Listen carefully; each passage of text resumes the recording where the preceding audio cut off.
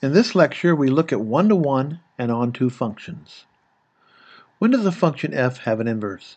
It turns out there are two critical properties necessary for a function to be invertible. It needs to be one-to-one, and it needs to be onto. A function like f of x equals x squared maps two different inputs, minus 5 and 5, to the same output, y equals 25. But a one-to-one function, no pair of inputs give the same output. Here's a function we saw earlier off of Wikipedia. This function is not one-to-one since both the inputs x equals 2 and x equals 3 give the same output y equals c. We define a one-to-one function more formally as a mathematical implication. A function f is one-to-one if f of a equal f of b implies a equals b. One can think of this implication as saying a function is one-to-one if whenever it appears that two inputs a and b gave the same output, in fact a and b were the same.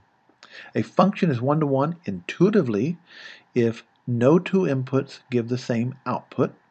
We've just said a function is one-to-one if whenever it looks like two inputs gave the same output, in fact the original inputs a and b were equal. Let's show that the function f of x equals 3x plus 5 that we looked at earlier is one-to-one. We can do this in a series of steps. Suppose that the outputs, two outputs are the same, f of a is equal to f of b. Well, that means 3a plus 5 is 3b plus 5. Subtract 5 from both sides to get 3a is 3b. Divide both sides by 3 to get a equals b. And what we've just shown is that if f of a was equal to f of b, then it turns out that a and b were the same.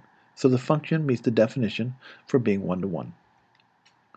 A one-to-one function is sometimes called an injection or an injective function. Wikipedia uses the term injective function. A function is onto if every possible output in the codomain is truly an output. That is, if the range of the function is equal to the entire codomain C. Here from Wikipedia is an example of a function that is not onto. In the figure above, the function is not onto because the element B in the codomain is not an output. The element A is also not an output. The codomain of y the codomain of the function is y, which is a, b, c, and d, but the range is just c and d. If f of x equals y, we say that y is the image of x and that x is the preimage of y.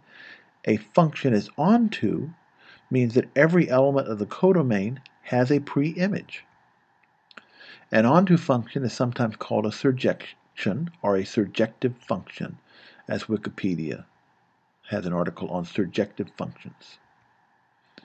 A function f from d to c has an inverse function from c to d, that should be c to d, if and only if f is both a one-to-one -one function and an onto function.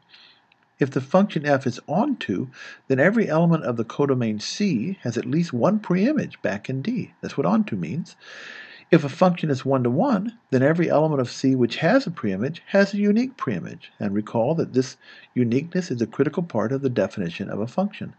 So a very important concept in mathematics, a function f from d to c has an inverse function from c to d if and only if f has two properties, it's one-to-one -one and onto.